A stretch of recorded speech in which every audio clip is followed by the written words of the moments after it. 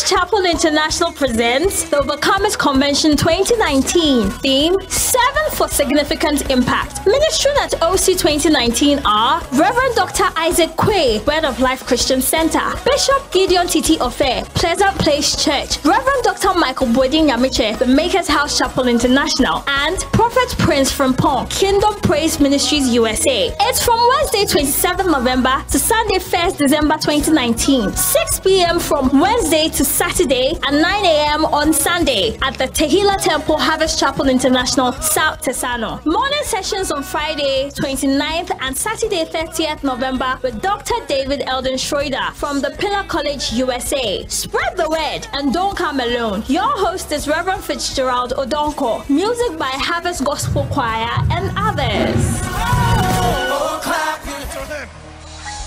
Give it back to him. That has breath praise the Lord. Let everything that has breath praise the Lord. I'll praise my Maker. While I have breath, I will praise Him. I will shout. I will clap. I will jump.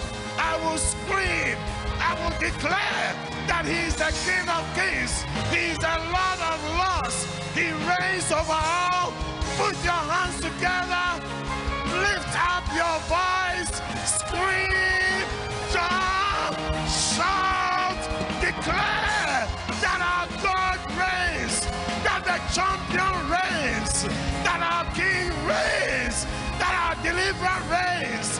That our healer reigns. That He is the lifter up of our heads. That He is the way maker. That He is our King. That He is our Master. That there's no one like unto Him. Declare it. Lift up that voice. Clap those hands.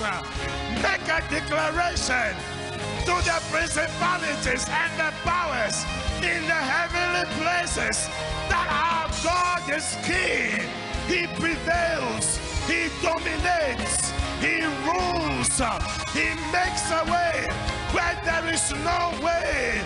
He causes the heavens to open. He declares water in the desert places. He gives a highway in the forest.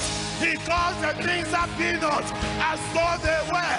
Are you clapping? Are you shouting? Are you screaming? Are you jumping? Are you lifting up those hands? He reigns. He reigns.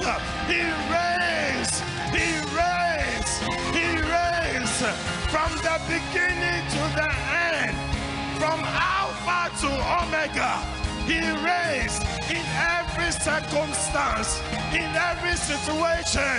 Let us declare that our God reigns. He is the victorious God. He is our King. He is our Master.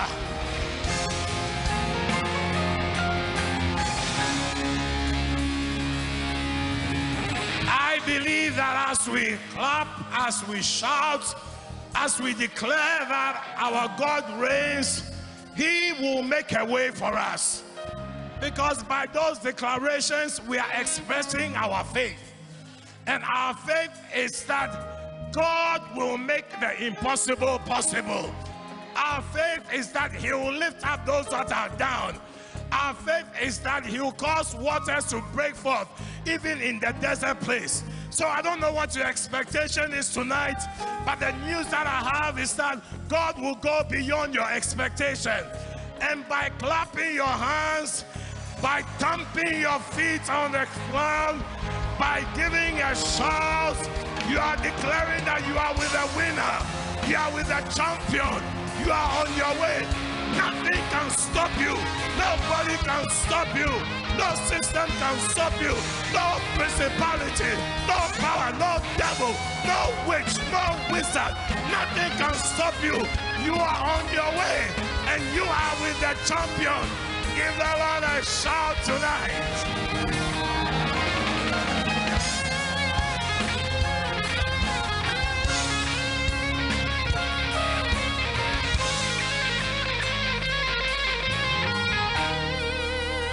The atmosphere is shifting. Defeat is giving way to victory. Darkness is giving way to light. Heaviness is giving way to praise. Do you believe that? And tonight, I am walking, welcoming you very specially to the third day of our Overcomers Convention in our year of significant impact. Let me hear you make some noise tonight.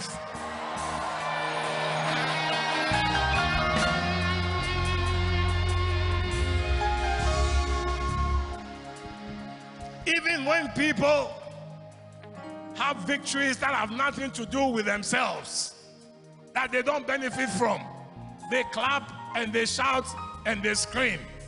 But this victory has something to do with you. It has something to do with your breakthrough. It has something to do with your healing, with the lifting up of your head. It has something to do with your deliverance.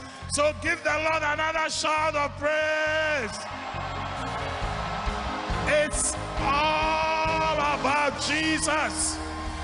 It's all about the King of Kings.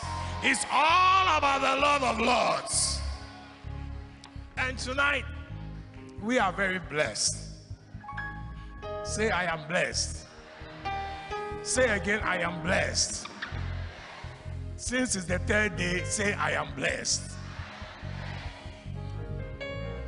I want to acknowledge the presence in our midst of all our pastors and uh, our leaders, our deacons, our elders. Clap for them for their faithful service.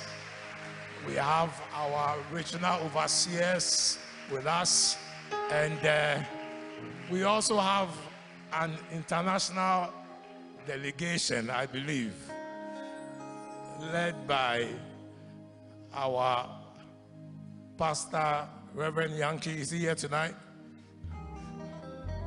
Yeah, I'm sure he'll be here tomorrow uh, from Canada. And then also, we have our sister Love coming all the way from Atlanta, Georgia. I cannot slang like the Americans, so I say Atlanta, Georgia.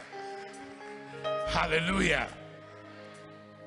And tonight also, we have in our midst those of you who are here this morning.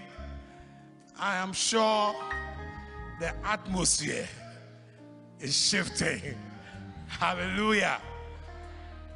By the grace of God coming all the way from the United States of America, the president of the Pillar College, and also of Masterworks Incorporated, Dr. David Eldon Schroeder, He's with us this evening. Doc. For those of you who were here, he was with us last year. Maybe you can't recognize him because now he's grown a prophetic beard. but I want to give a special invitation to all of us. Tomorrow morning, 9 o'clock, either be here or be nowhere else. Because we are getting some revelations that will change your life forever. He's going to speak about the spiritual gifts, how to discover your gift, and how to use your gift.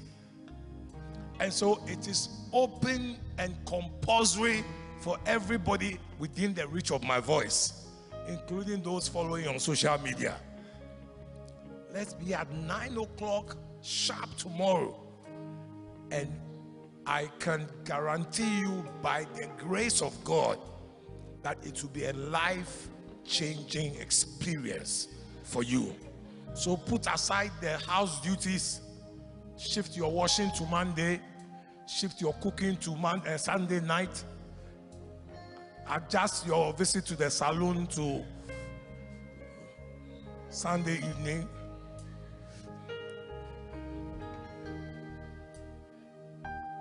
and let's be here. Hallelujah.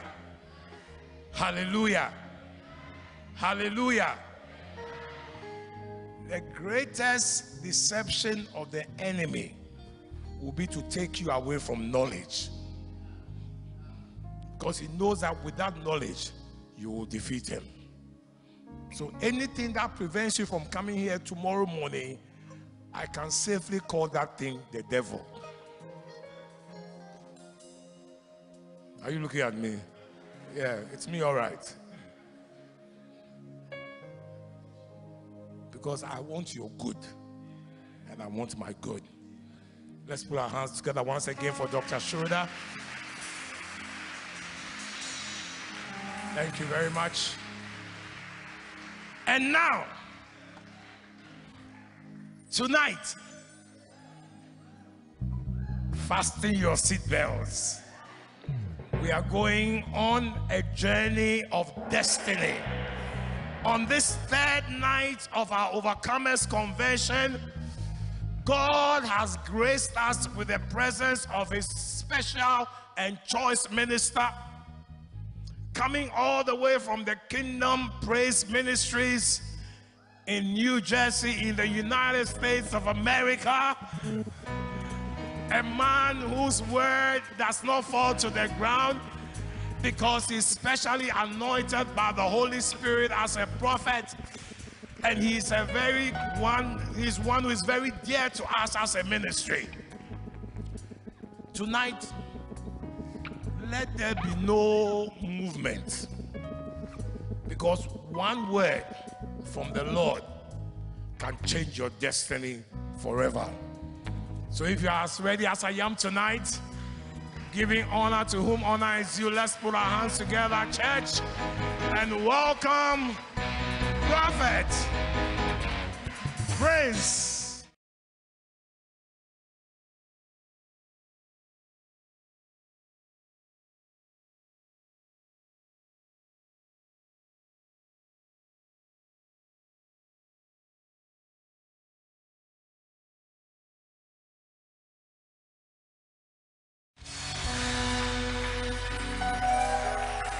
Give God some praise tonight. Give him praise.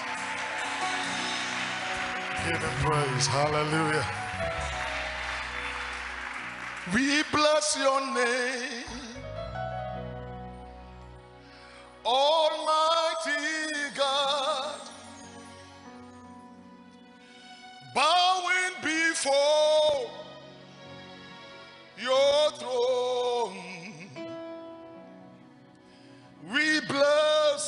name, Almighty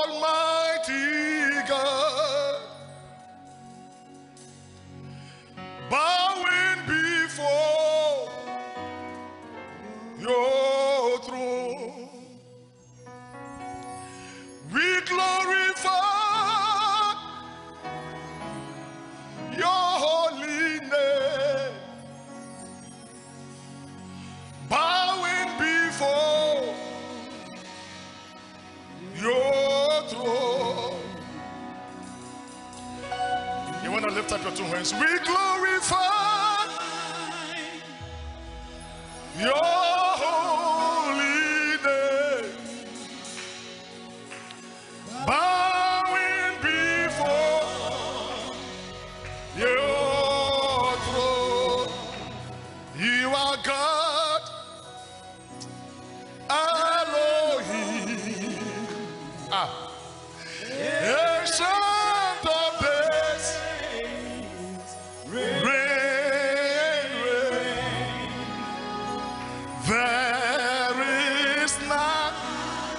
Up your hands unto Jesus.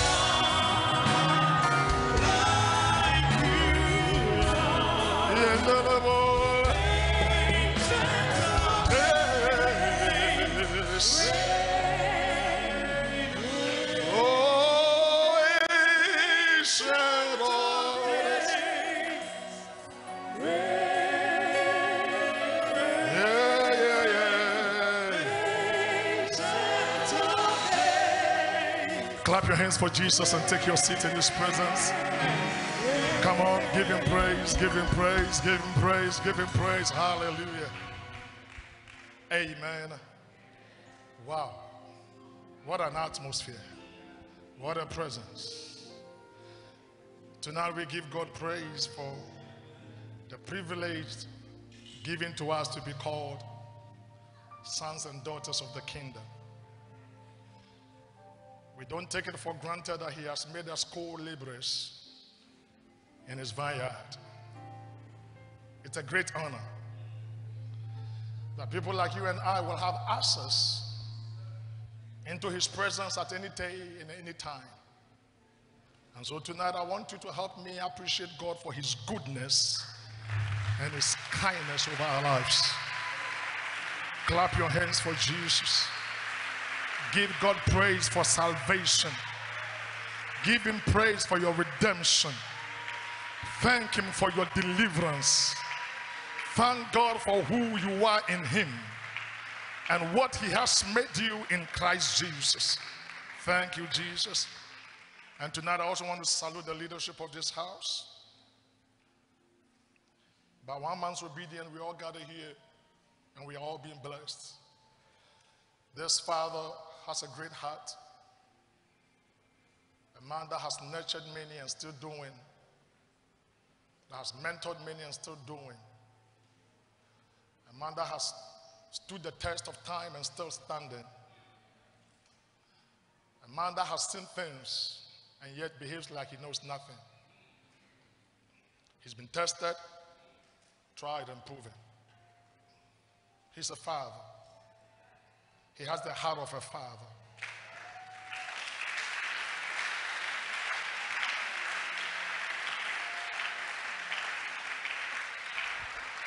I want to salute Bishop Fitz Odonkor tonight for your great leadership,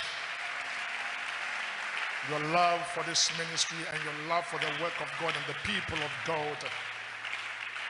Your love for me and my family. Want to say thank you. And to Mama Talma, we appreciate you, the woman you are. Are just an amazing woman of God. And God bless you for always believing in us. Reverend Titilati, you are just, just a big brother who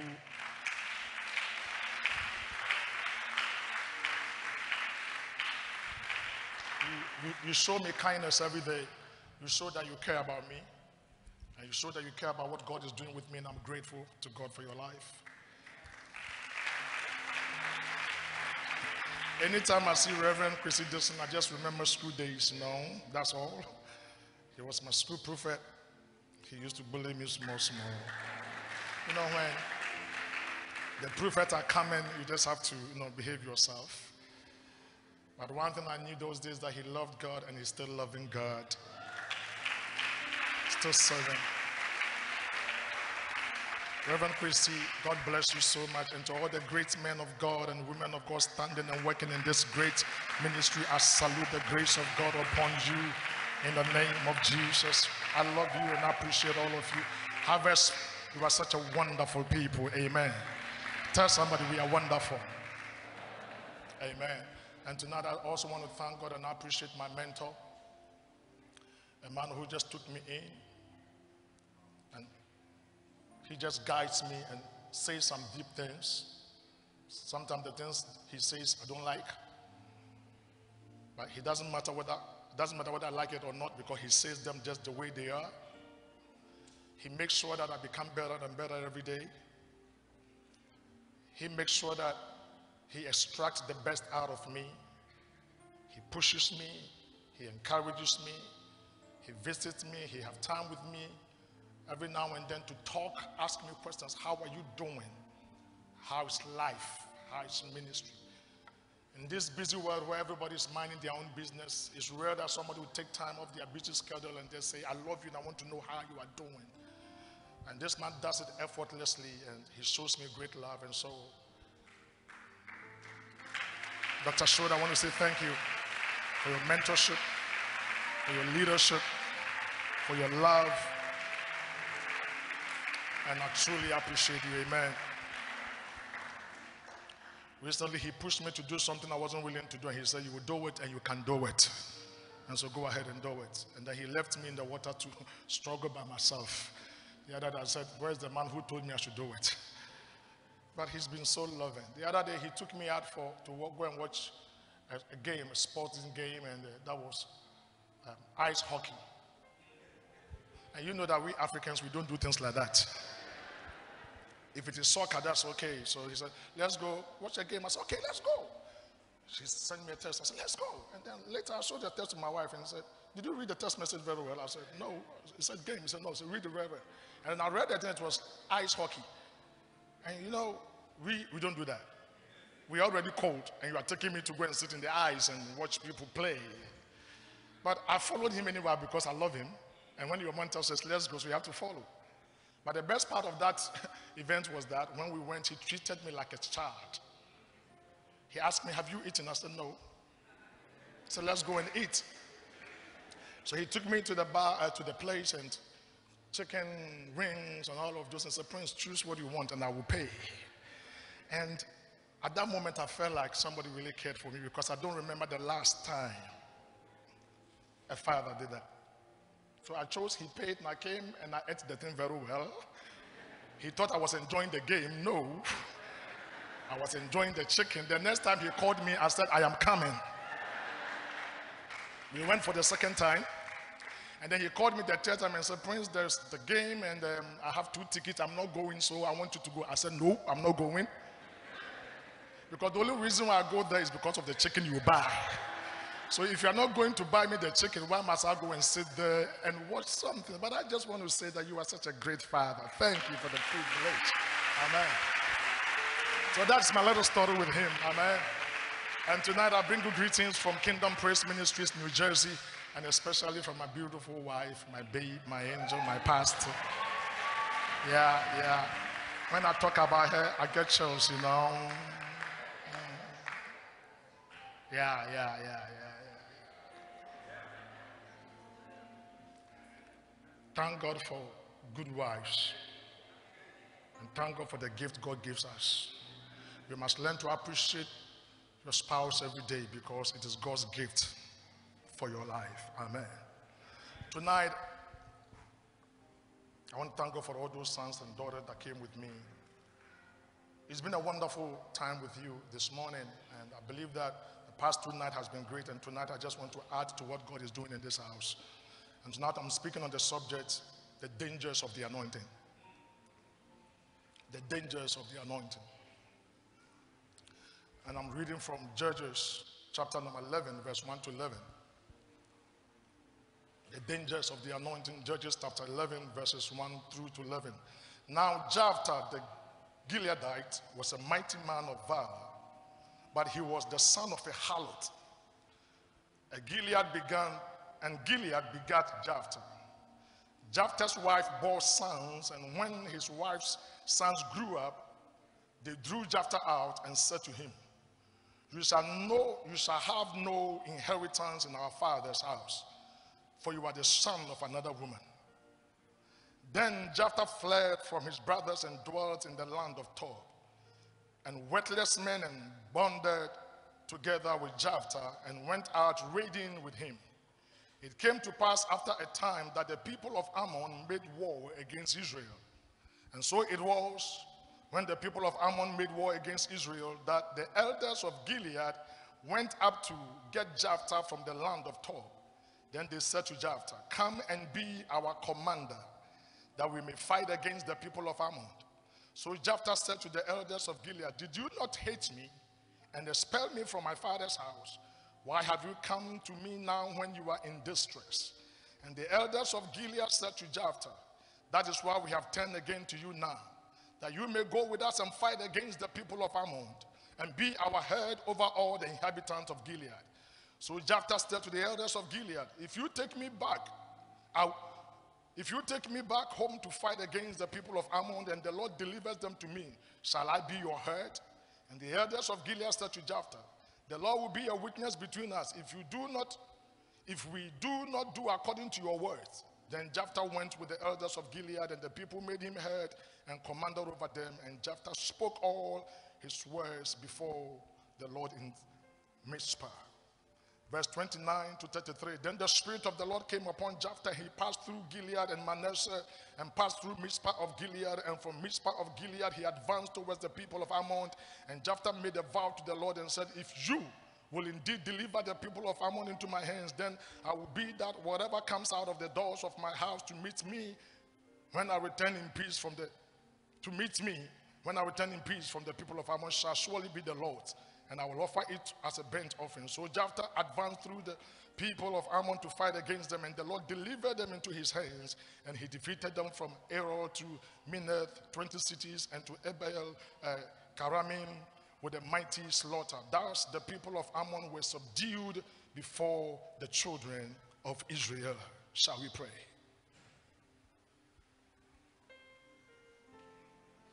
Thank you. Thank you. Thank you. Thank you for this moment.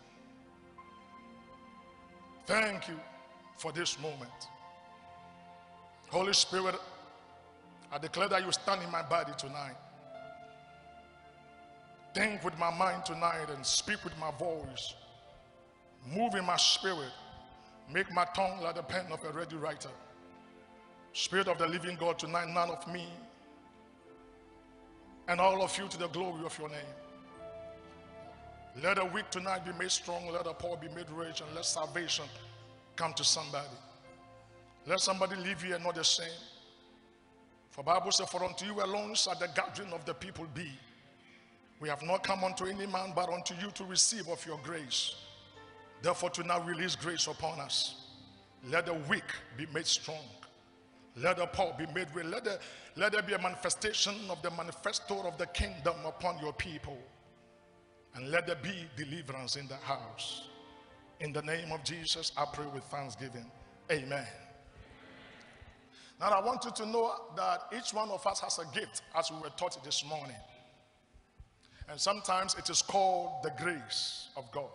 For Bible says we are all partakers of God's grace. So that gift you have is God's grace that has been given to you. And we have this gift in different levels and in different rankings. But God put this gift in us for specific assignment. Amen. And we are placed in specific places, in specific times to accomplish specific tasks. And when God put in us specific put us in specific places at a specific time for a specific time or a task, he then put upon us what we all call the anointing. Meaning that anointing comes upon us for a purpose. There is a reason why God will release that grace and that anointing upon your life. The anointing empowers you to do what you could not ordinarily do as a human being. And so God releases the anointing upon us so that we'll be empowered and enabled to stir up our giftings and take it to the level where we can maximize it and be a blessing unto God's people. Bible said when Saul met the company of the prophet, he became another man. There was something that was in him, and when he met the company, it was stirred up and the thing came alive. Tonight, I declare in the name of Jesus hmm, that anything that is dormant in your life, any gift that is dormant in your life in this atmosphere, let that gift be stirred up in the name of the Lord Jesus. And if you heard me, I want you to know that there is something that God has given you, like the man of God taught us this morning. We all carry gifts, but tonight I came to stir up the gift of God, the grace of God, the anointing of God, whatever assignment God has given you tonight, you will rise in the strength and in the power, in the audacity of Jehovah, and you shall do it because God did not give you the gift just for entertainment, nor for yourself. He gave you the gift for the body, for the benefit of the body of Christ. He gave it so that people will enjoy it and be blessed by it. Tonight, any gift and anything and any assignment that God has given you, I stir it up in the name of the Lord Jesus Christ. And Bible said, and Jesus grew in wisdom and in stature and in favor with God and in favor with men. And these things helped him, help Jesus to grow in his anointing. Hear me. I mean, when you grow in wisdom, it helps your anointing to function better. When you grow in favor with God, your anointing functions better. When you grow in favor with men, trust me, your anointing functions better because the people must receive your ministry. And so Jesus made it a point to grow in the wisdom of God, in favor with God and with men, and he was physically stronger. Bible says in the book of Exodus chapter 28, Bible says when the five ingredients of the anointing oil comes upon the physical flesh of the priest, it turned them into different people. The anointing has the power to turn one person into another thing. And that's why today you know somebody walking about and you may consider him ordinary. The next day, something supernatural hit him and you begin to do things that you do not understand. Today, people have seen the ordinary side of you, but tomorrow, by this time, when the convention shall be over, they will begin to see another side of you that they never saw. Tell somebody you don't know me yet.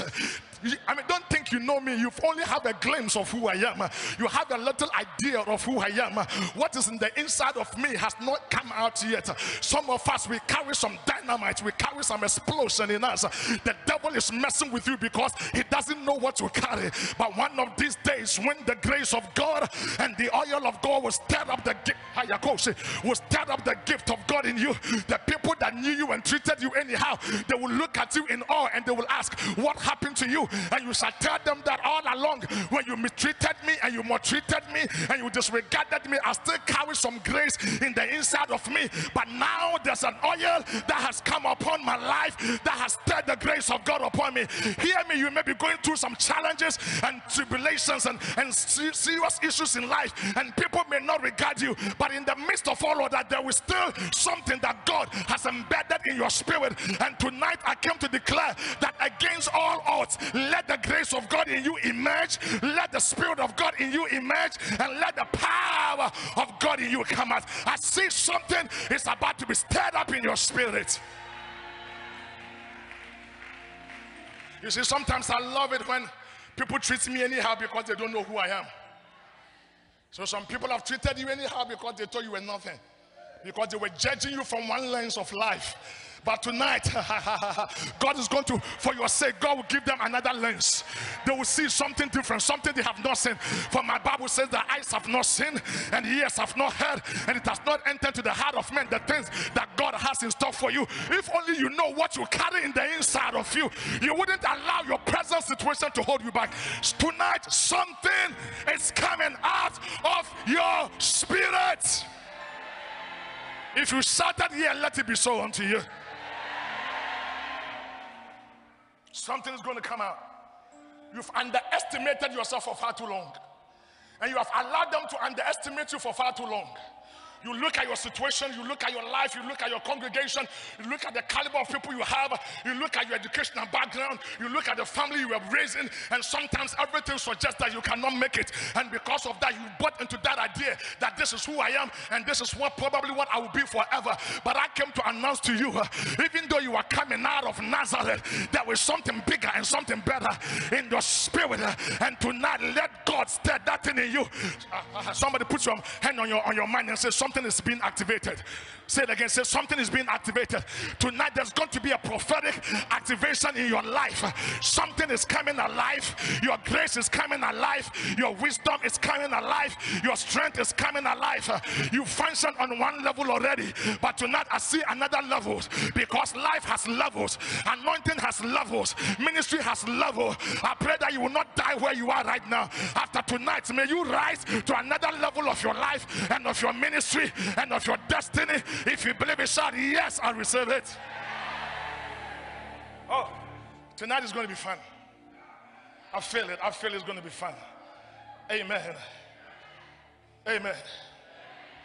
There are things that are dormant and inactive in your spirit. There are hidden treasures that God has deposited in your spirit, but you don't know. You don't even know that they are there. But tonight, by the anointing, those things will be stirred up. But again, permit me to say that the anointing is also a process. Amen. The anointing is also what? A process. The anointing is a process. The anointing is not the oil that we just put on your head. The oil is an endorsement. But the real anointing is the process you submit to.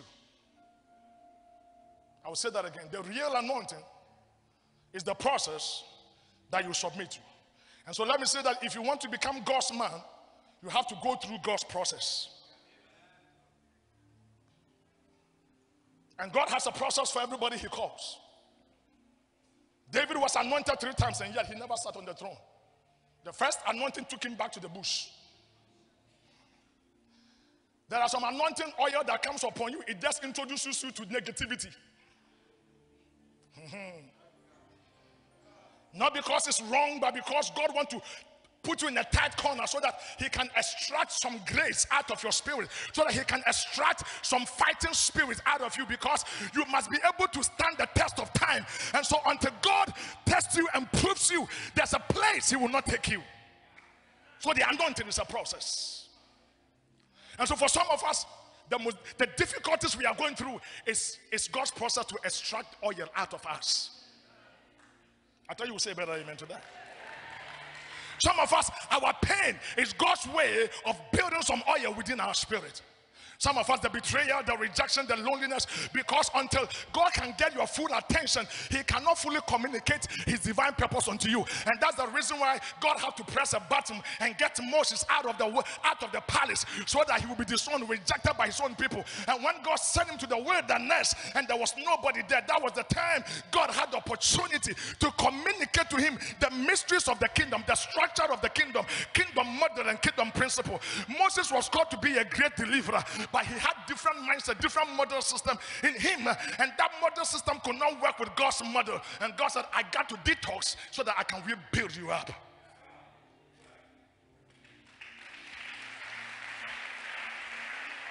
And so sometimes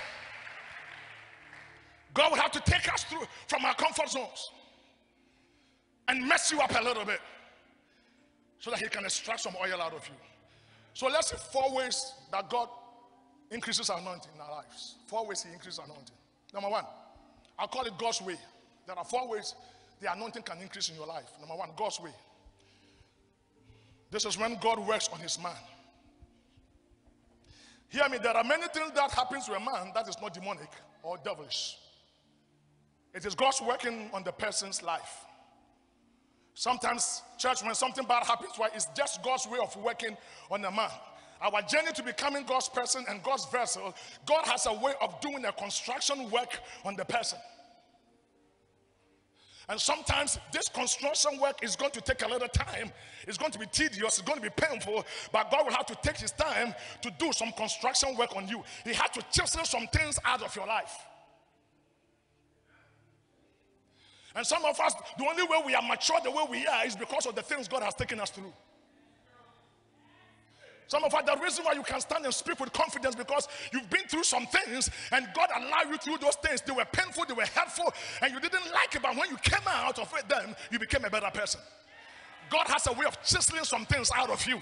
And tonight, for God to increase the oil of God upon your life, He will have to find a way to chisel some things out of you. He will put you through pain to extract the very oil in your spirit. He will put you through some wilderness experience so that He can manifest the anointing in your life. Sometimes it will hurt you, and sometimes it will cause you pain. Sometimes it will look as if God is trying to kill you. And sometimes it will look as if God is trying to destroy you. Do you know how sometimes God calls us and we are quick to respond without reading the blueprint? Sometimes we respond to the call before we realize that, no, no, no, no, this is not what I signed up for. Because God always has an agenda. And so this one is not demonic. And when you see something, somebody, a Christian or a, a, pastor going through some phase or this kind of phase, don't judge them, don't crucify them, don't criticize them. You just pray that they don't die, they don't give up, because that is God's investment. And God's investment must always yield returns. I'm I talking to somebody here? And so Bible said, and God pressed a button and took Moses out of the palace and brought him to the wilderness so that God can build some things in him. And so that's God's way. For many of us, our experiences are painful, but God is still in it. For many of us, the, the, the water we drink are so bitter, but God is still in it.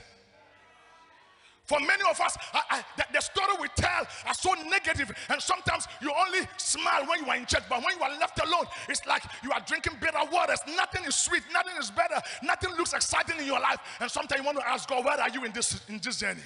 And it feels like He has abandoned you, but hear me. Sometimes it is God's working. For all things work together for good for them that love the Lord. I pray that at the end of the day, when it is done, may you come back. May you come back like Moses. May you come back. May you come back with glory like Moses. May you come back with honor like Moses. May you come back more powerful than before. And I declare that your end shall be glorious than your latter. Your latter glory shall be greater than the former. And after you have suffered a little while, the God of all grace will perfect you, will establish you, will settle you. Tonight I pray that may God settle you for everything you have been through in the name of Jesus. Number two, another way God increases his anointing upon your life by demonic workings. That's when God lowers the hedge around you to allow demons to mess you up small. I know you won't say amen. This is when God will do anything to extract the fighting spirit in you. Like, listen to me. As a pastor, as a leader, as a man of God, a woman of God, that God is taking something, God has to prove your fighting skills. God will back you up in the corner to do some battles alone.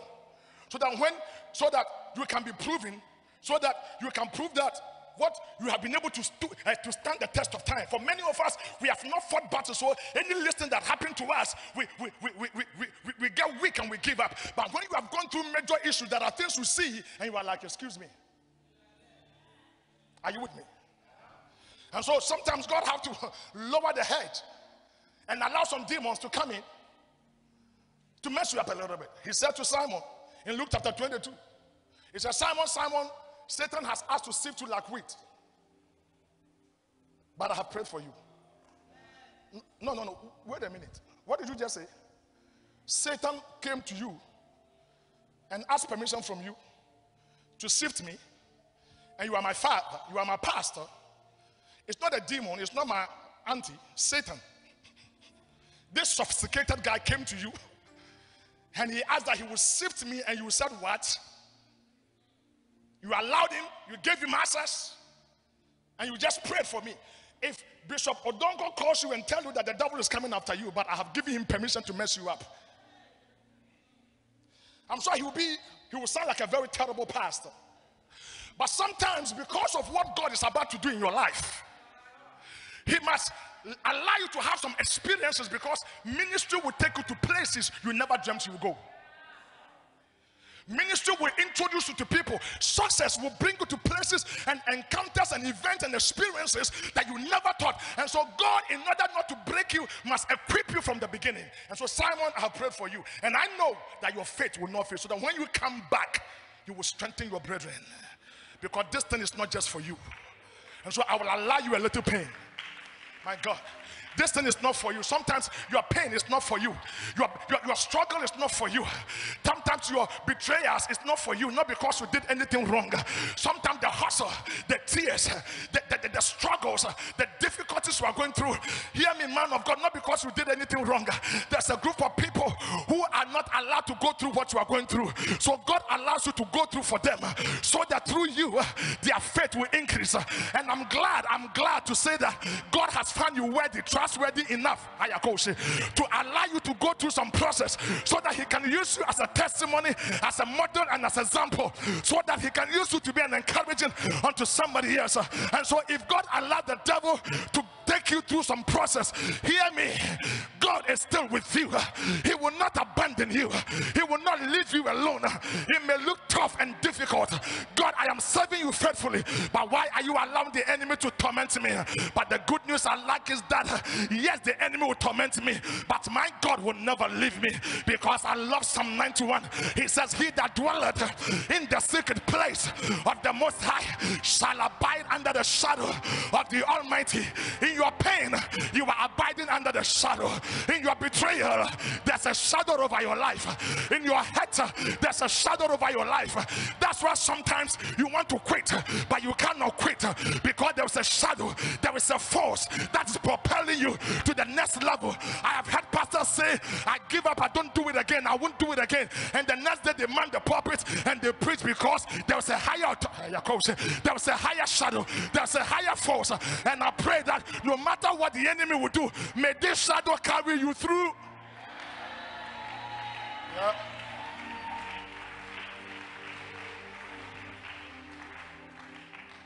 Number three, I call that man's working. So we have God's working, we have satanic workings, and we have man's working. That is when God allow a mentor into your life. A series of people that can systematically grow you. A mentor is someone who helps you to identify your gift and improves improves helps you to improve them. A coach is the one that knows your gift and perfects it for you. Hear me, church. Sometimes all you need to sharpen your anointing, your giftings, and the grace of God upon you is to find a voice in your corner that you'll be willing to listen to. And I'll say that again. You must find a voice that you are willing to listen to. Whilst on my way here in the plane, I was watching this clip of a movie they called The Creed. And this young man was fighting and the stadium was full of people. And it was a vicious fight. He went to that battle for the first time, he lost. And said he wanted to come back again and fight. But when he went to the battle for the first time, his coach, uh, uh, uh, who was Sylvester Stallone, decided not to go with him because he didn't approve of the bout. But the guy, out of ego to revenge his father's death, said, I will go and fight. But his coach told him that you are not up to the task, so don't go. But he said, He killed my father, so I want to fight and revenge my father. And he went into the ring and he was beaten mercilessly. He nearly lost his life. And then he, the coach came back again. Sylvester Stallone said, I think now you can do it. So let's go. So he took him to the ring, gave him some training, gave him some uh, tips and tactics and, and how to handle himself. And then he went into the ring, and ladies and gentlemen, it was, it was more vicious than before. This young man took some hit. And sometimes you have to take some hit. Who told you that Christianity is hit free? Who told you that the devil is going to give you a, a, a, a holiday? Who told you that it's going to be luxurious and, and, and, and, and glorious all the way? Who told you that? They told that when we are growing that Christianity is going to be no, no, Christianity is not sweet. The sweetest part of Christianity is the fact that we are going to heaven. We know Jesus. Thank God for redemption.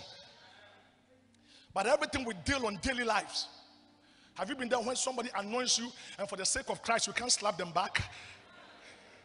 And sometimes in your head you've already punched them and you've seen blood coming out of their nose, but physically you can't punch them because you are the prophet.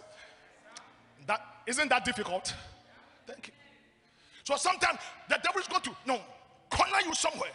And this guy took some hints, and, and one major blow hit him, and he fell, and there was a huge noise. Everybody was cheering for this guy. But in the midst of the noise, in the midst of the heavy noise, he could hear from the crowd his mentor's voice saying, Get up, for you can make it. And in the middle of that, that voice was able to penetrate through the crowd and get to this young man. And he stood up, and the finishing was amazing. Sometimes all you need is one person who will be in your corner and tell you that you can make it. So tonight, I pray that may God introduce you to that person who will not judge you, who will not. Somebody who just believe in you. Somebody who will not be judgmental. Somebody who will say that even when you fail, I will still be here to love you. You need those people in your life. I'm not talking to somebody. You need a mentor. Tonight, may God give you one because they will help you sharpen, sharpen your anointing. They will help you sharpen your anointing. They will help you. They will help you. And then the last one is life workings. Life. Listen, life will sharpen your anointing for you. You just have to go through life. You just have to learn to do certain things right in life. If not, your anointing will not be accepted. You are going to learn to submit to authority and leadership. If not, your anointing will be sabotaged. You have to learn to sub- respect people. If not, the people will not respect your anointing. you have to learn to groom yourself and grow yourself. Body hygiene is important. No matter how anointed you are, if you produce sweet perfume, it drives people away from you. You have to learn to obey the laws of the land. You can't be anointed and behave anyhow. Go through red light, disobeying the traffic rules. You'll be arrested and in prison. You will preach in prison, even though God has not sent you there. And so all of this component helps you become better. Am I talking to somebody here? You have to submit yourself to education and grow yourself. It helps you become better. There's something in you, but that thing must be shaped Knowledge gives you power. It helps you to become bigger and better. And so you have an anointing. There's something embedded in your spirit. But you need this four components to help you become better. Can I have an amen? And so I'm talking about anointing. And when God gives us anointing, like I said, there are reasons for the anointing. God anoints you to deal with demonic spirits. It is important because the devil is a very sophisticated guy. To deal with him, you need some anointing. And sometimes God anoints you to, to break some, some poverty cycle. And as a pastor, and maybe as a firstborn, there are people God raises in family and He equipped them so that they will be the first to break the cycle of poverty. And I pray that may you be the one to do what others have not been able to do. Every family has a hero. Every family has a champion. God calls us in to equip us so that He can send us there. Nobody has seen success in your family. Receive the anointing to break the poverty cycle. I said, receive it, receive it, receive it, receive it. There's an anointing that breaks poverty, breaks sickness. Everybody dies at the age of 40. You shall be 41, 45, 50, and you shall not die, and your children shall live above that because you are going to break it. There is an anointing for that. There's the anointing for the supernatural. Amen. You need that anointing. The anointing to help with your inner healing. Some of us, as a result of the things we have been through in life, we have lost our confidence. So there's an anointing you need to bring you healing, to bring you some confidence. Some of us, because of the abuse, we were so much abused that you've lost your sense of humanity. Somebody violated your womanhood, and since then you have no trust for anybody again. Sometimes you make some terrible mistakes until you come to a point in your life where everybody's looking down upon you, and sometimes you look at, down upon yourself and you say, I'm done. Sometimes you need the anointing to help you heal the wounds that are within. If not, you will be in this place and you will hear everybody screaming and shouting, and you will join them, but you will still leave empty because inner work has not been done. And I pray tonight that may God bring some healing to you. Am I talking to somebody here? And sometimes we need the anointing. The anointing comes upon us to help us break some limitations and barriers that has been set for us. Some of us, we are dealing with some barricades and barriers. No matter how hard we try, nothing works. You go, you hit, you fall back. You try again, you hit, you fall back. But after tonight, I hear God saying that by my God, you are going to run through troops, and by Him, you will leap over walls. And I came to tell somebody that what you couldn't do yesterday, after tonight, there's going to be a stirring in your spirit, and you will rise up and do it it is not by might and it's not by power. There's going to be an inner working. Tonight, Holy Spirit, I declare if there's somebody here under the sound of my voice who has not been able to break the barriers and the limits over their lives, when they leave here tonight, may something happen. Somebody say, I am breaking the barriers. Say, I'm going to break the limit. Come on, say like me. Say, I'm going to break it. To now receive grace to break it. Something must break. Something must break. Something must break. You must step out. You must step out. You must step out. You must step out tonight. You are stepping out. One of these days, they will come looking for you where they know you to be, and they will not find you because your location is about to change because the cycle is about to break. Shout, I received the anointing for that. Some of us, we need some anointing to carry unreasonable burdens. You are the one caring for your parents, caring for your siblings' children. And only God knows the, the heaviness on your shoulders. And these people, after you care for them, they still come and disrespect you. Some of us, we are carrying some heavy burdens on our shoulders. It takes grace and it takes anointing. If God, if God called you into it, I pray that you shall have the grace. So there are different reasons why God gives us anointing. But from the scripture we read, Bible said there's a guy called Jephthah in the book of Judges. Judges was raised in a very precarious moment. In the early formation of the Israelites, we had the patriarchs, we had the priests, the generals, the judges, and the prophets. And we see that Samuel, the prophet Samuel was the last judge and he was the first prophet of Israel. And the judges came into effect after Joshua died, and there was no one to take over the leadership of Israel. And the book of Judges contained about 300 years of history. And anytime an enemy invaded Israel, they will call on an individual who was great in battle to lead them to fight. These individuals, after they have won the battles, will be called the judges. And these judges were raised as men and women. And in all, in the book of Judges, we see about 15 judges that were raised to deal with the situations confronting the people of Israel. They were raised. May you be raised. I thought you heard me. I said, May you be raised. Amen. And not just that, may you also be made. Hallelujah. And so this guy called Jephthah was the eighth judge in Israel, and he presided over Israel for a period of six years. He had impact, he had influence, he brought great deliverance to the people of God, he brought them hope and he brought them encouragement. Jephthah was a great leader who won battles and brought victory to the people of Israel. But, ladies and gentlemen, Jephthah had a very terrible background. Jephthah simply means God will come. And when your name is God will come, then the question is when will he come? God, I know you will come. I'm 50 years old. And I'm getting old, and the clock is ticking. And so, when are you coming? And so, Je- uh, Jephthah, Bible said his father's name was Gilead, and Gilead means the place of healing. The place of healing. His mother was a prostitute. So Gilead had an affair with a prostitute because Gilead had a human moment. And his humanity, he made a mistake, went into a, into a prostitute and had a child, and they called him Jephthah.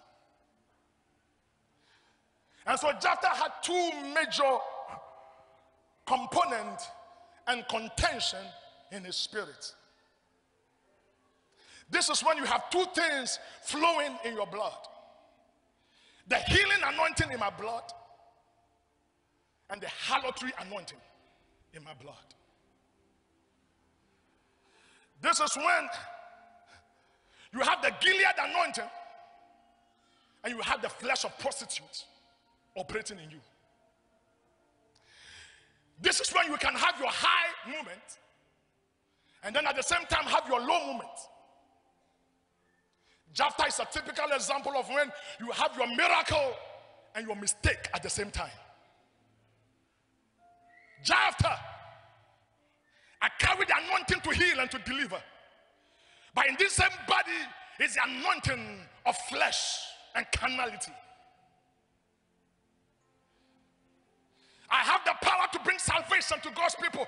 But after I have done that, I carry in my flesh weakness that I inherited. And there was this contention that goes on in his life every day and every night. And many pastors will attest to this. Sometimes, after you have done ministry and the anointing has operated, the healing anointing, the prophetic, the pastoral, and the evangelistic, and the gift have manifested, you finish and you realize you have human moment. Am I talking to somebody here? Come on. Am I talking to somebody here?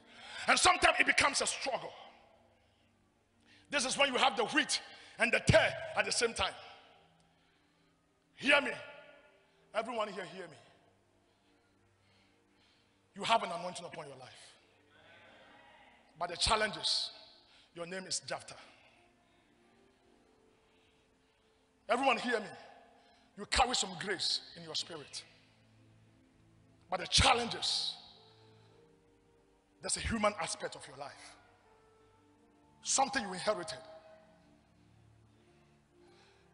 And sometimes people are going to judge you by the harlotry aspect of your life because human beings by nature we gravitate towards bad news. So as much as my father's name is Gilead, when they see uh, when they see uh, Jephthah, what they see and what they talk about is the fact that the mother. And people can talk and point fingers and say all of these things until it can kill your self-esteem. Until the, the healing anointing in you will become dormant until the grace on you would dissipate. Until you come to a place where you are not able to believe in yourself and believe in God and be able to do anything for yourself because people will use the negative aspect of your life. Jephthah. My father's name is Gilead, the power and anointing to heal. But my mother's also has a blood flowing in my vein. And nobody knows my struggle. And so Bible said, when Jephthah was brought home, his brethren looked at him and said, You don't belong here. Because your mother was a harlot. But are we not of the same father? Why can't you focus on the father we are of the same father? And I have my father's blood in me and help me overcome. But they said, you don't belong here, so they threw him out. He was not accepted. Because, like I said, humanity will use your negativity against you all the time. But the most important thing you got to remember is number one, to believe in God and to believe in what you carry in your spirit.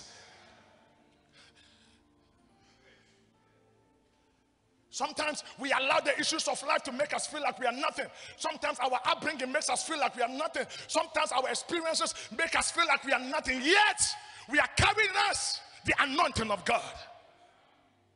And so let me say this sometimes what you have to deal with is the reality you are confronted with. For Jephthah, the reality is that his mother was a prostitute. That's the truth. For some of us, you'll be confronted every day with the reality of your life. The reality is that you didn't have any good education. Your reality is that you don't have enough opportunities.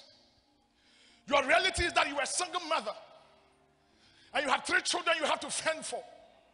And sometimes the means and the resources are not there. And the church of God will tell us that let the weak say strong, so we are not allowed to exhibit our weaknesses. And so we are what we do is to pretend like we are strong, but your reality is confronting you on daily basis. You got some reality that is challenging you and looking at you in the eye and say that you are not going nowhere. And the most painful aspect of it is that when society uses your reality as a tool against you. Hmm. The reality is that I don't have any good upbringing. The reality is that you are born in a village, whereas some people were born in the palace. Sometimes life is not fair.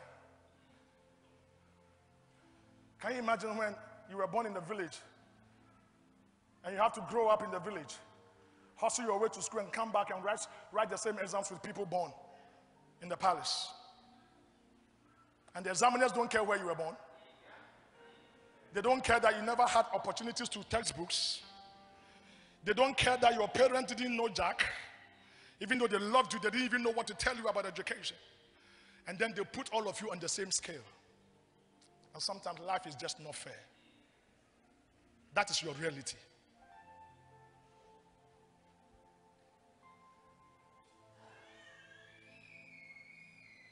But the truth of the matter is that, and the good news is that, in spite of that which I'm being confronted with, I am made in the image of God.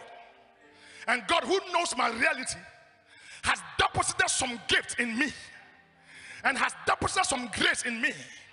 And because of that, I am not going to allow my reality to detect my future. I am going to allow the greatness that God has deposited in my spirit to, to, to motivate me to become better. Sometimes all you got to do is to take your eyes off from everything and to look within. Within. Within within. Bible said that he that is born of the spirit is like a wind. Listen to me, no matter what you are going through, there's something you carry within. I wish I can say it again. No matter what you are going through, there's some greatness in you. No matter what you are going through, there's some power in, in you. No matter what you are going through, there are some things that God has deposited in your spirit that God is calling them out of your spirit. And tonight I declare that your reality will not sabotage and, and dominate your giftings. Tonight, let your gift arise and let your reality submit.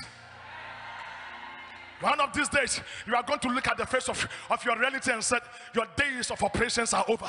Because the set time for Zion to be favored is now. And I hear God saying that the days of your shame are getting over, the days of your disgrace are getting over, the days of your embarrassment are getting over. I see God is about to extract something out of your spirit. There is a fighter in your spirit, there is a champion in your spirit, there is a winner in your spirit. Today, you've been down all your life, but one of these days, God is going to turn things around, and the lioness in you is going to rise, the champion in you is going to rise. This is not all you ought to be. Arise and shine, somebody, for your light has come, and the glory of the Lord is risen upon you. One of these days, they will come looking for you where they know you to be, but they will not find you because something bigger and something better is about to happen to you because the grace of God is about to manifest in your life. You are rising up to a new level if you believe it, shout yes. Who told you you are going to die like this?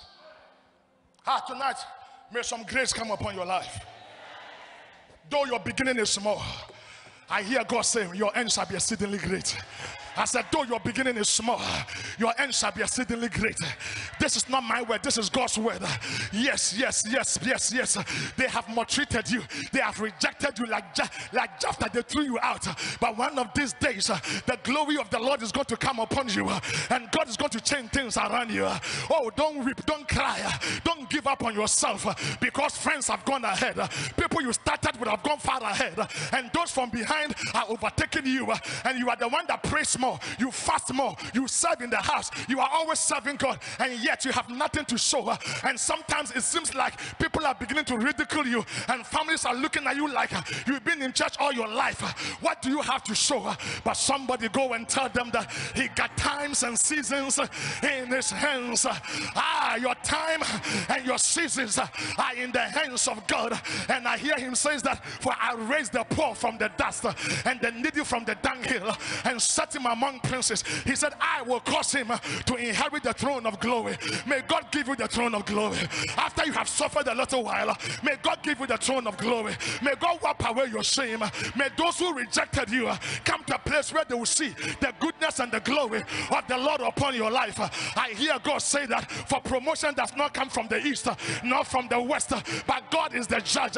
He lifts up the other and he pulls down one. Today they've been lifted, but tomorrow shall be your turn. Tomorrow, God is about to lift you. Like Jephthah, your days of glory is coming. Like Jephthah, your days of honor is coming. Like Jephthah, your days of elevation is coming. Like Jephthah, something is about to shift. There's an atmosphere shift. I said there is an atmosphere shift. Ah, you don't understand. That was so prophetic. That was so profound. There is an atmosphere shift. There's an atmosphere shift. Something is about to shift in your life. Am I talking to somebody here? And so the Bible said they threw Jephthah out and they let him go. And Jephthah says, Okay, because you are using my weakness against me. And so Jephthah left and joined himself with some vagabonds, joined himself with some group of people. But because of what was in him, the grace of God was still upon his life. The hand of God was still upon him. And Bible said Jephthah made an effort either to allow the Gilead in him to dominate him or the harlotry in him to dominate him. And so there was a contention. And that's the danger of the anointing. When you know that you carry anointing and yet something is contending with you. When you know that you can sing and people can will be healed and be blessed. And yet there's something that is trying to disgrace you. When you know, when you know that you have grace to minister to people, but in your personal experience, you have a weakness you are dealing with, and you don't have the confidence to tell anybody because the church will not be lenient with you and they are going to judge you. And sometimes you got to deal with it all by yourself. And sometimes you cannot tell your story, you cannot share your narrative with anybody. You just come to church and go home. But within you, there is a contention. But tonight, like Jabez, and once upon a time, Jabez said, Yes, I am not going to allow the harlotry to dominate me. Yeah. But the Gilead anointing, the Gilead anointing, the Gilead anointing. Tonight, what is about to dominate you will be the Gilead anointing. What messed you up cannot hold anymore. And so Jephthah took his destiny into his own hands and said, These people threw me out. But it is my responsibility to work on myself. It's either allow the Gilead anointing to operate or to allow the harlotry anointing. But sometimes, listen to me, even in your weakness, you still got to preach. Even in your struggle, you still got to believe yourself and preach because nobody was ever called perfect and born perfect. Okay, after all, it is not Jephthah's fault. He didn't do anything wrong. So why are you holding that against him? Some of us, the things we are dealing with is none of our fault. We were born into it. We inherited it. However, we still have the responsibility to change it. And tonight, it seems like what has dominated your life is the negative aspect. But God told Jephthah that look within you. There's another oil flowing in you. Why do you sit and focus on the rejection, the negativity that can paralyze your life? And so Bible said one day the Ammon, the Ammonites fought Israel. And then they looked around and, and they said, nobody can fight them. So let's call Jephthah. What did they see? What did they hear? I'm sure they heard something. They must hear.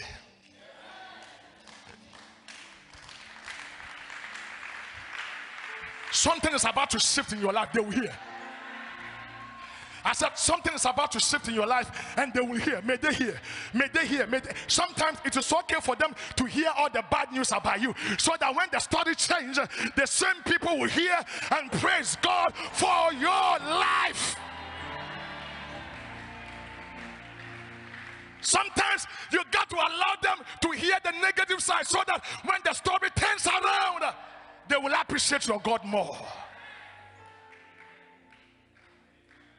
Who told you this is the end of your journey?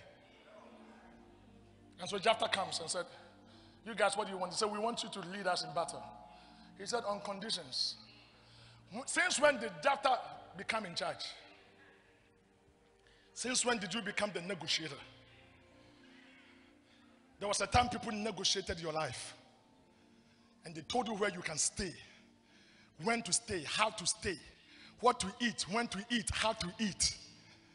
There was a time when people told you that you don't belong here. Have you been there before? The days when you wash and you wear. And then you see the other group of people and you know that, yeah, these are the elite. And you ask yourself, when will I ever get here? There are the days when they tell you where to sleep, somewhere in the corner of the house. There was a day when you see people eating jollof and salad and you, I mean, and, and you are salivating.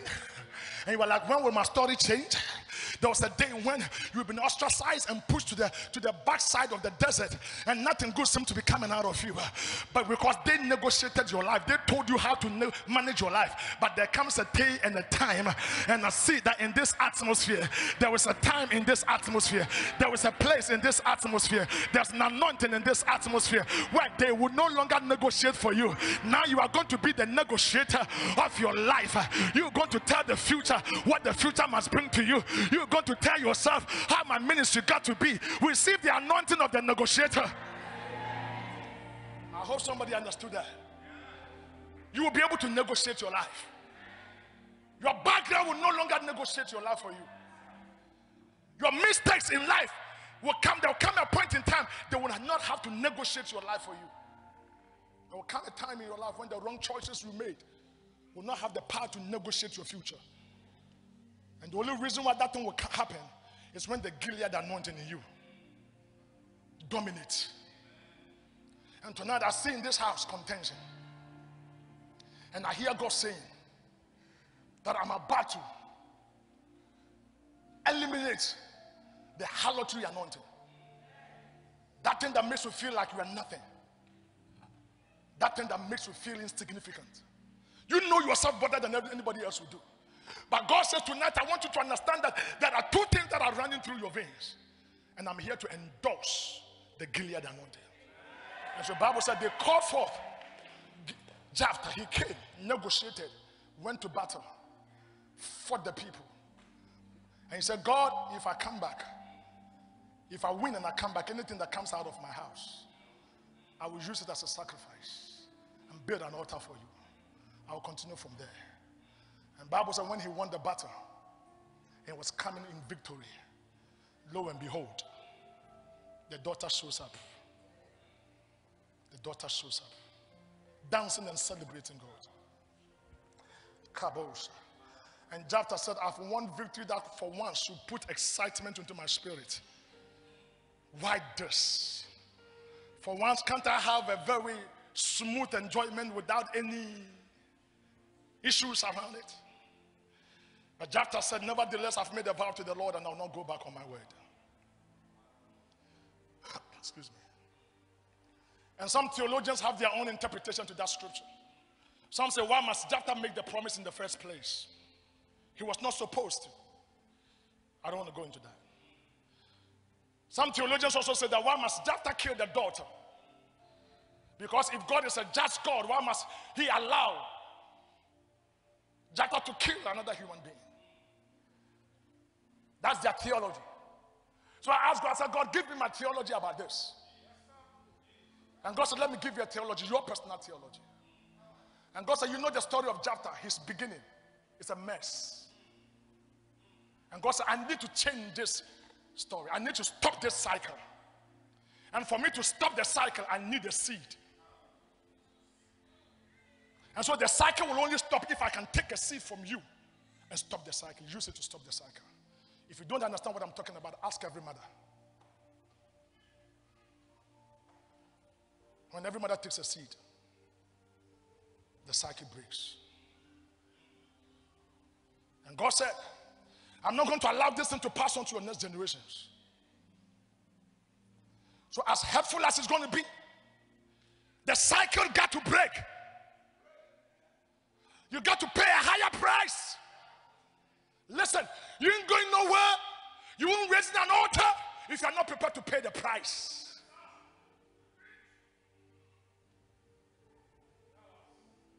If you're not ready to, one of my Bible said, Noah went, uh, Kaboshi, Noah experienced major devastation after the flood. And Bible said when he came out of the flood, he looked around and saw how the earth was messed up. God, your own earth, you messed it up like this. God said, Yes, I did. And Bible said the first thing that Noah did was to take a sacrifice out of the animals and raise an altar unto the Lord. And so Noah is saying that yes, I am I see devastation, yes, I see calamity, yes, I see difficulties, but I also understand that, that you gave me victory. And this cycle must break. And when God took that offering, burnt offering from Noah, God said, This thing would never repeat itself again.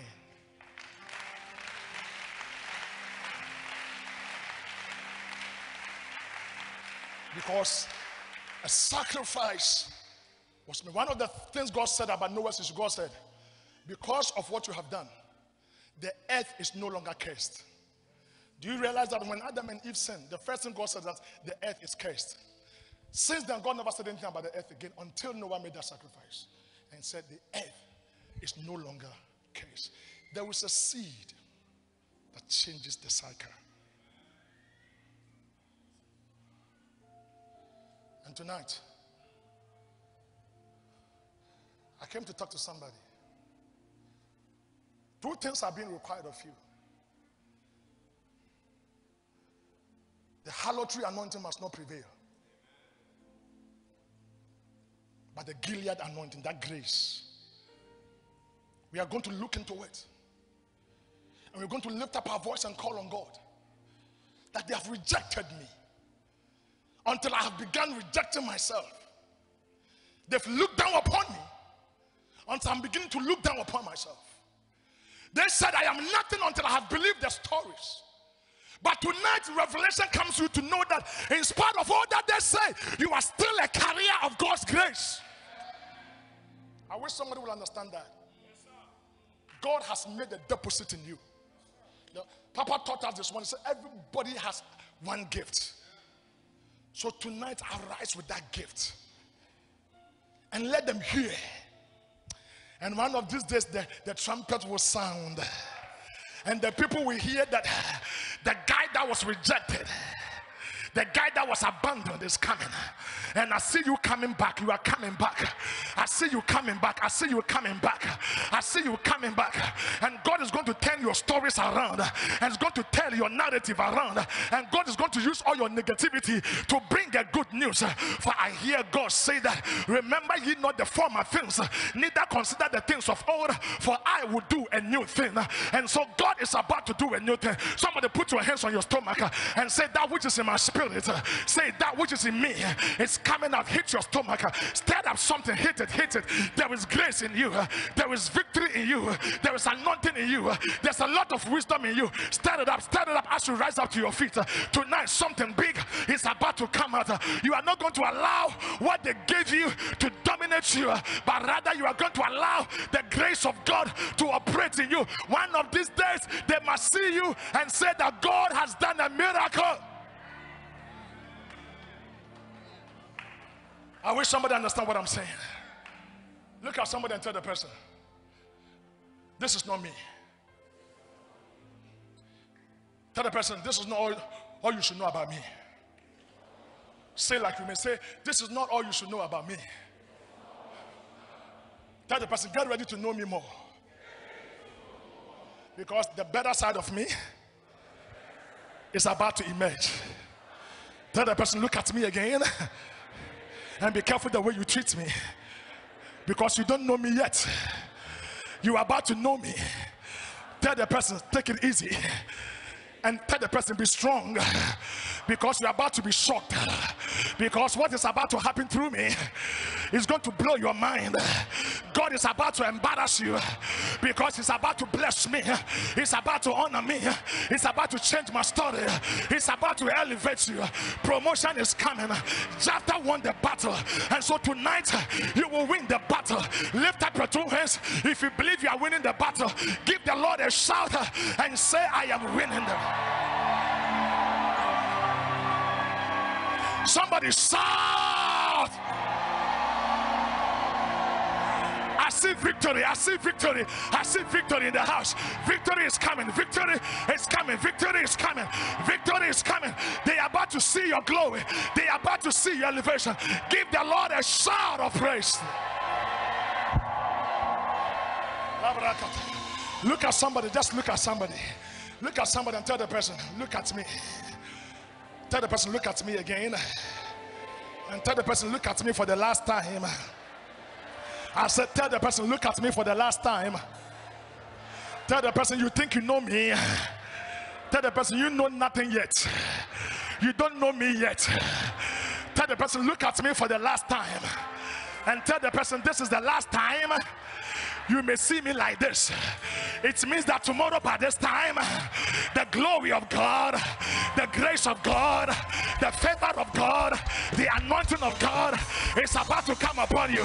There's another level, there's another elevation, there's another dimension, there's an increase. Your glory is about to increase, your favor is about to increase. If you believe it, lift up your two hands and give the Lord a shout.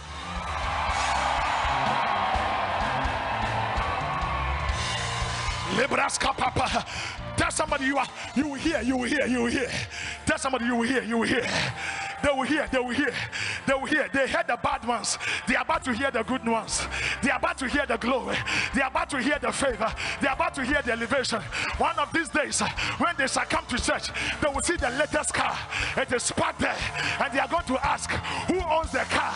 And you shall tell them, It's not for the bishop, but it is for me because the Lord is turning my story around. If you believe it's sad, yeah. Who told you? Who told you? Who told you? Who told you? Who told you? You rejected me because of one mistake I made.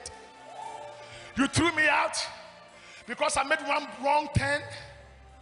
You disregard me because I don't speak the English you speak. Because I don't carry the degrees you carry. Oh, excuse me. But I carry something supernatural something divine, something prophetic. It is given by God. And when God gives, nobody can take. If you believe you carry something better than degree, better than education, better than beauty, better than wealth, you carry something bigger. Shout, yes, I carry, I carry. Somebody carry, carry. Somebody say, I carry, I carry. Say, I am a carrier. Yeah, yeah, yeah, yeah, you've been struggling in ministry. And they know you are struggling in ministry. But one of these days, one of these days, when the Gilead anointing will be activated, they will walk into your church, and all of a sudden, there is a mass choir. And when they sing, heaven opens. And when you preach miracles happens. And they are going to ask you what happened? And you shall tell them that when the lord shall turn away the captivity of zion it shall be like a dream. Somebody shout i am coming out i can't hear you. I can't hear you. Shout i am coming out shout yeah. Shout yeah and give god some praise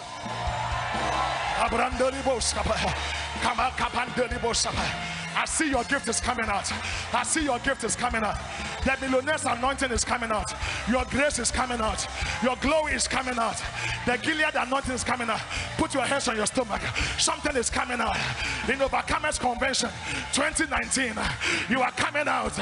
Those that rejected you shall see the glory of God. Begin to call it out. Begin to pray.